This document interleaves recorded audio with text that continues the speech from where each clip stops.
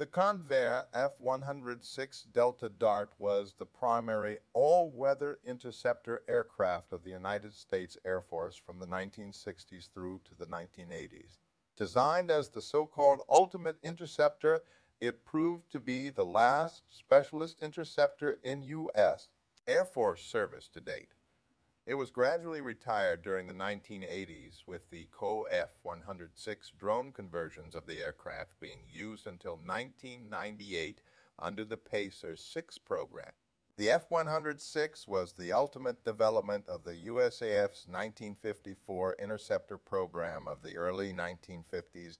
The initial winner of this competition had been the F-102 Delta Dagger, but Early versions of this aircraft had demonstrated extremely poor performance, limited to subsonic speeds and relatively low altitudes. During the testing program, the F-102 underwent numerous changes to improve its performance, notably the application of the area rule to the fuselage shaping and a change of engine, and the dropping of the advanced MX 11 79 fire control system and its replacement with a slightly upgraded version of. The MX-1 already in use on subsonic designs.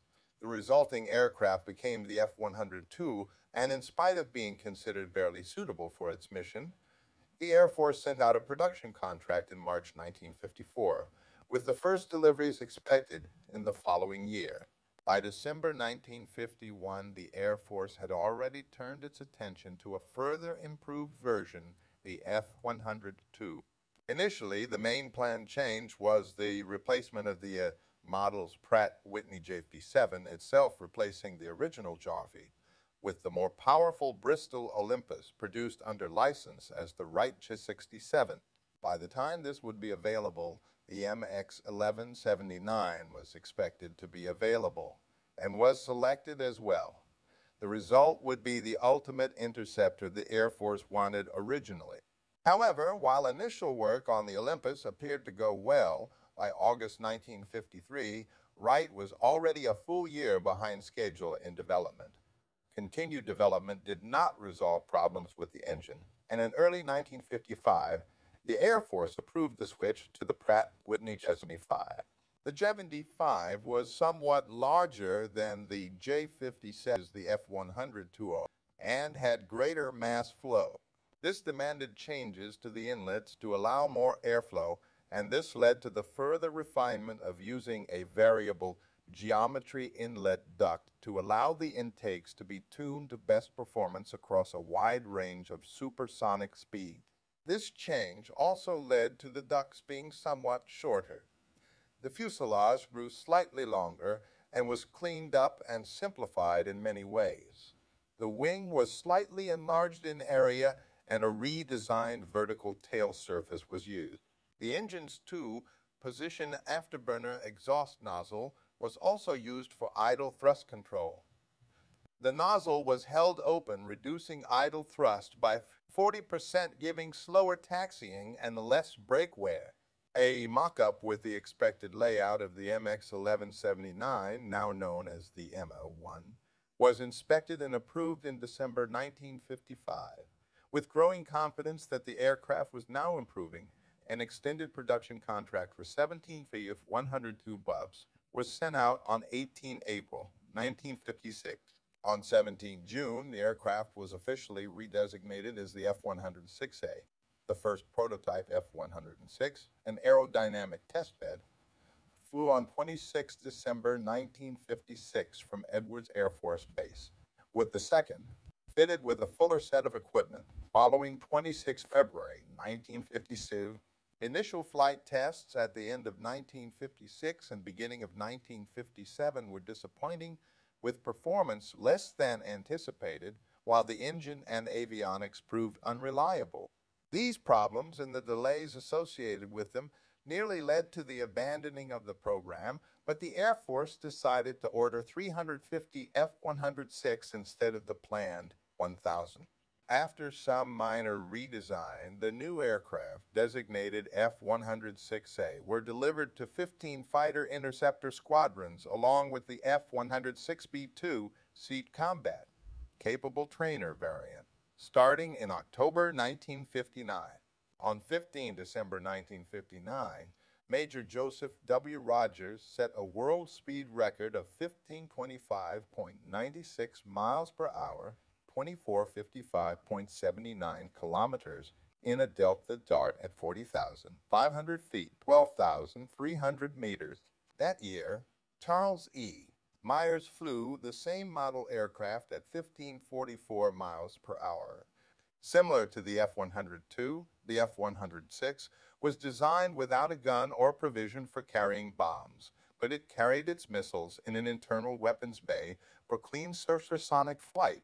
It was armed with four Hughes AIM-4 Falcon Air to air missiles. The first ejection seat fitted to early F-106s was a variation of the seat used by the F-102 and was called the F. Weber interim seat.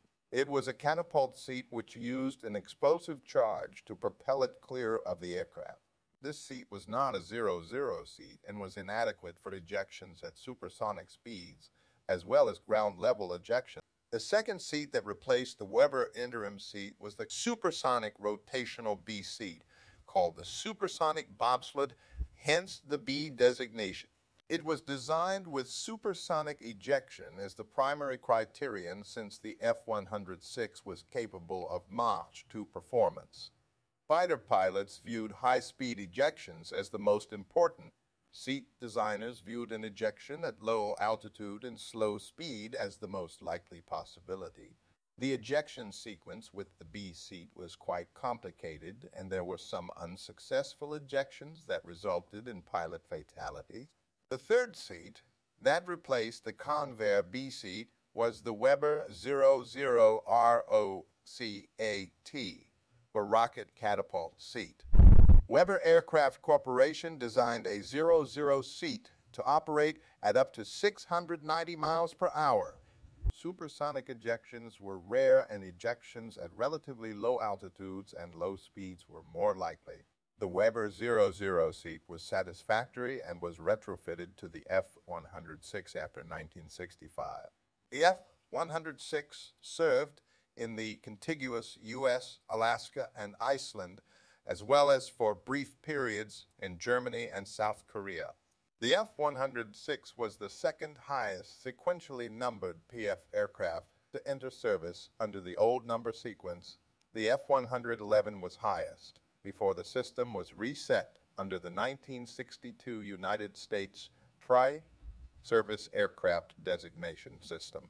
In service, the F-106's official name, Delta Dart, was rarely used, and the aircraft was universally known simply as the Six. Although contemplated for use in the Vietnam War, the F-106 never saw combat, nor was it exported to foreign users, following the resolution of initial teething problems, in particular an ejection seat that killed the first 12 pilots to eject from the aircraft. Its exceptional performance made it very popular with its pilots.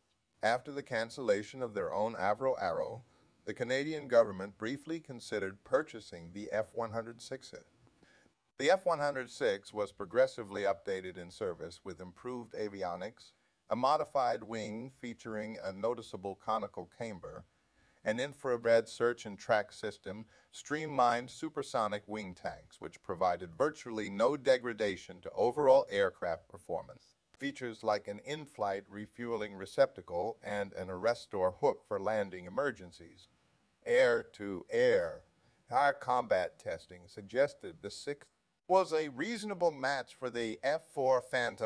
In a dogfight, with superior high altitude turn performance and overall maneuverability, ideated by the aircraft's lower wing loading, the Phantom had better radar operated by an additional crewman and could carry a load of up to four radar and four infrared AIM-9 Sidewinder missiles, while the AIM-100 missiles carried by the F-106 proved a disappointment for dogfighting over Vietnam.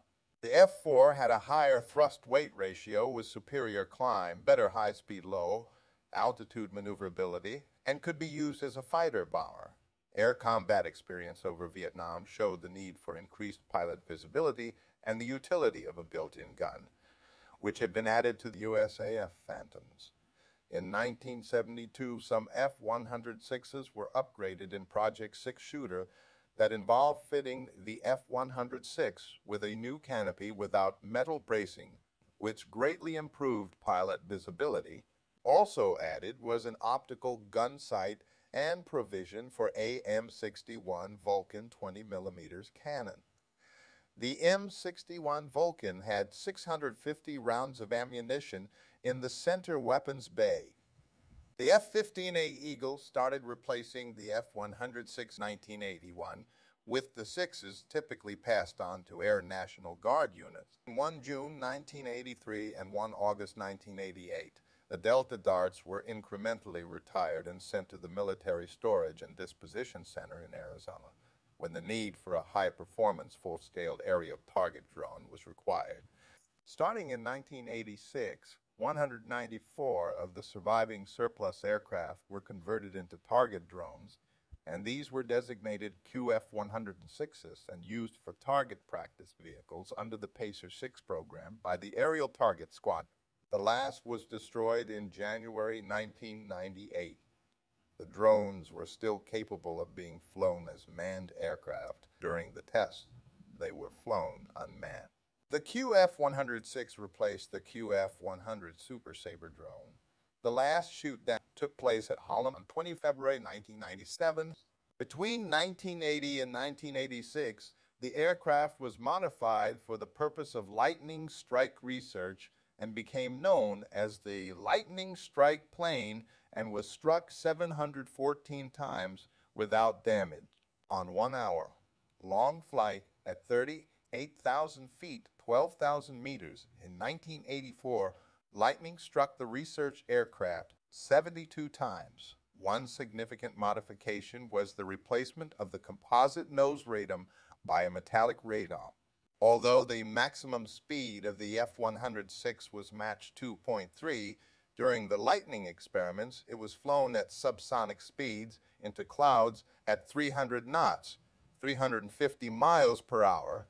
The aircraft was equipped with optical sensors, which consisted of a video camera and a light detector.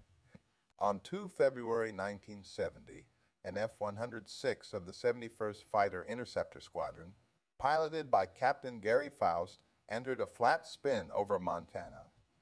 Faust followed procedures and ejected from the aircraft.